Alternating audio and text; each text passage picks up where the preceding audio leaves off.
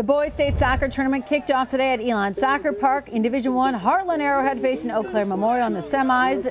And that's a good save by Sydney Marquardt, but moments later, Eau Claire scores. However, it doesn't matter. In the end, Arrowhead wins 4 to 2. The Warhawks will face Marquette on Saturday in the state championship game. The Hilltoppers won in overtime earlier tonight over Madison West. And earlier today, a Division Two showdown between Whitefish Bay and New Richmond. The Blue Dukes are one of the top-ranked teams in the country and easily won today. They win 5-0 and will face Oregon for a state title on Saturday. By the way, none of our local teams wanted to score while our cameras were there. Oh well.